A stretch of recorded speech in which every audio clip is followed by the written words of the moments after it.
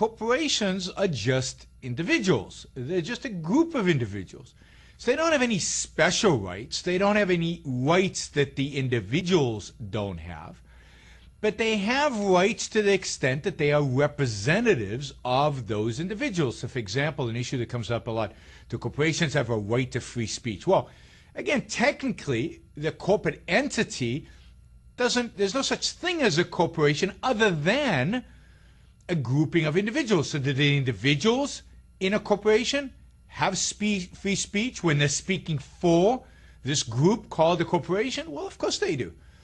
And in that sense, corporations have free speech and should be granted every form of speech, free speech that individuals do.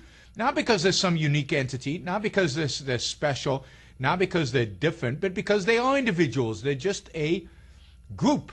They're a clustering of uh, individuals. So the corporation gets its rights from the individual members that make up that corporation.